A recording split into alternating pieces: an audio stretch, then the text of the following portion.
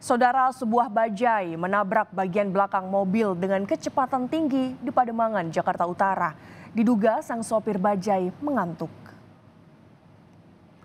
Kerasnya benturan membuat bagian depan bajai ringsek dan membuat sang sopir terluka parah.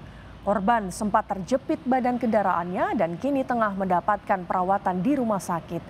Kecelakaan berawal saat bajai ini melaju dari arah Ancol, Jakarta Utara menuju Kemayoran, Jakarta Pusat di jalur lambat.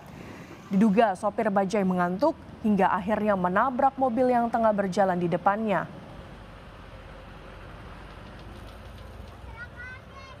Ya, awalnya kendaraan bajai sama mobil pribadi satu arah dari arah tren Kemayoran arah ke Kemayoran arah selatan ya tepat di jalur lambat.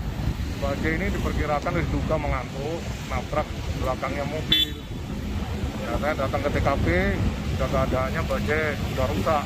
Jadi menurut saksi korban dibawa ke gerbang dulu